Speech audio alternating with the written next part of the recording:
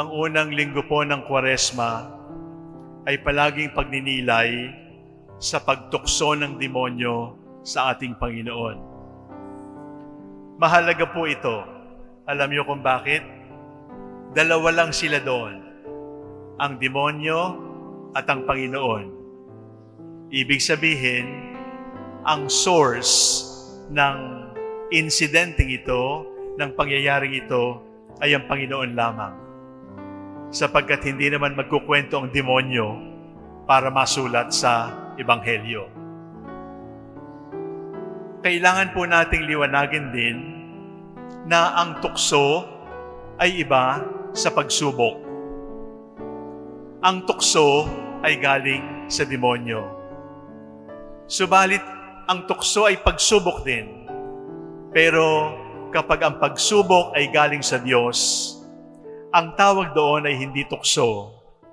Ang tawag doon ay pagsubok. Ngayon po, ang Ebanghelyo ay nagtapos doon sa mga salitang, The devil departed from him for a time.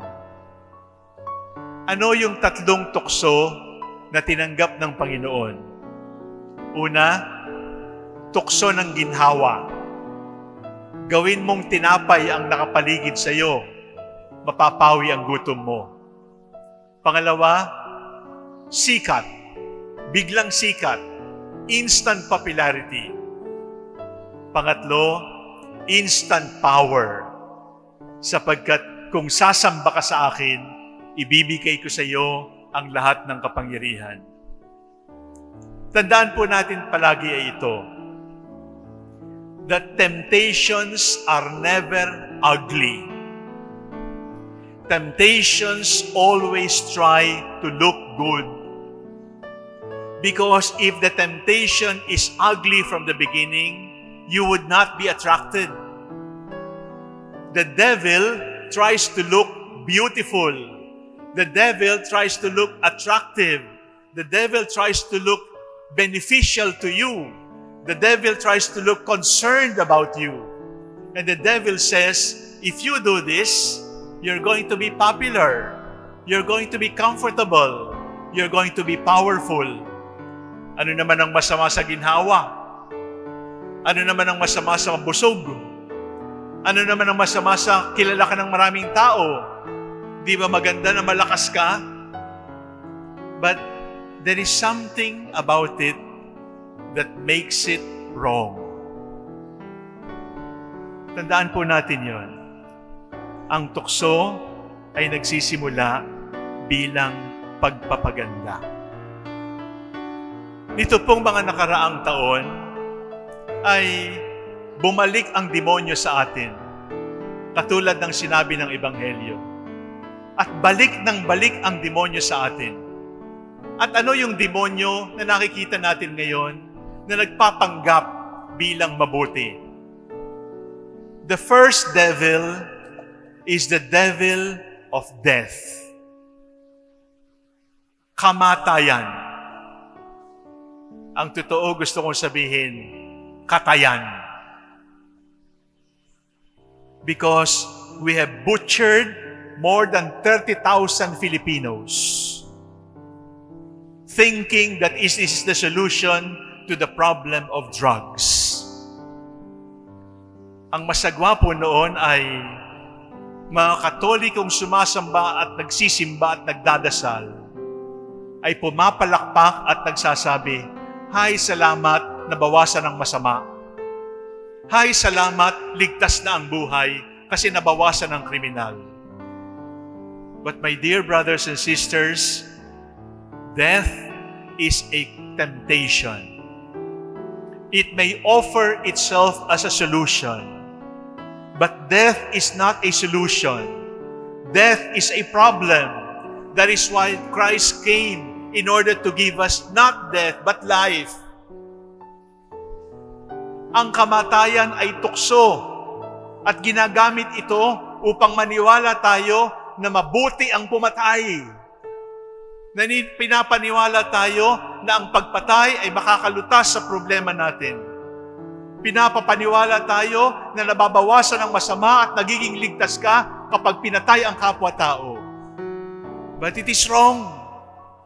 Because death is not the will of God for us. The will of God for us is fullness of life. Ang pangalawang demonyo ng ating panahon ay kabastusan.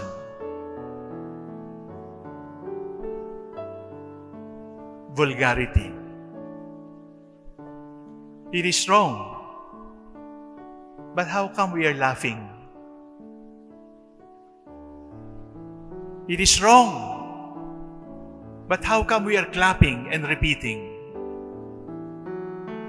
It is wrong. But how come the same lips that utter vulgarity will be the same lips that will say Amen to the body of Christ? My dear brothers and sisters, vulgarity is wrong because our mouth belongs to the Lord.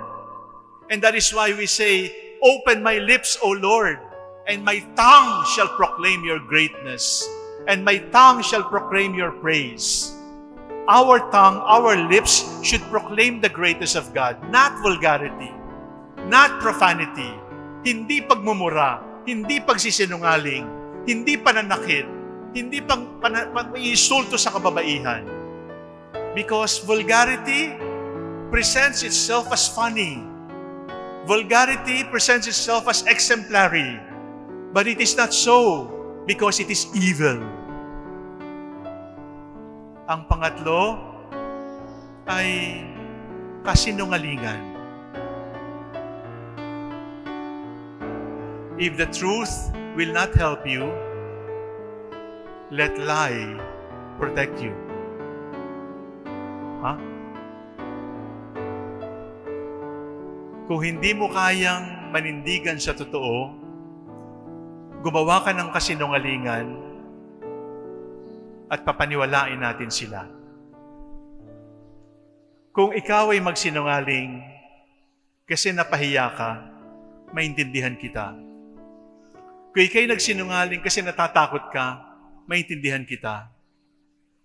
But if you are creating lies in order to make others more angry, and if you are creating lies in order to increase the level of hatred in the world for one another, how can I call you an angel of God?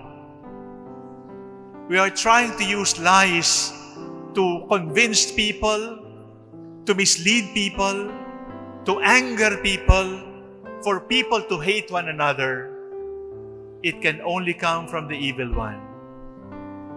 Pero, pansinin po ninyo, mga minamahal kong kapatid, dahil panahon ng kampanya, ang lahat kontra sa kamatayan. Dahil panahon ng kampanya, hindi na nagmumura. Dahil panahon ng panliligaw ay parang nagsasabi na ng totoo. Pero pakitingnan po ang mga kandidato kung sino ang nakatayo sa kaliwa at sa kanan nila at kung sila ay naging kasangkapan para sa kamatayan, para sa kasinungalingan, para sa kabastusan, hindi ba dapat sabihin natin sa Kanya, I reject. Itinatakwil ko ang masama. Itinatakwil ko ang kasalanan. Itinatakwil ko ang tukso. Itinatakwil ko ang demonyo sapagkat sumasampalataya ako. Let us make a stand, not for anyone in politics, but for the Lord. But you can only stand up for the Lord if you're willing to reject the devil.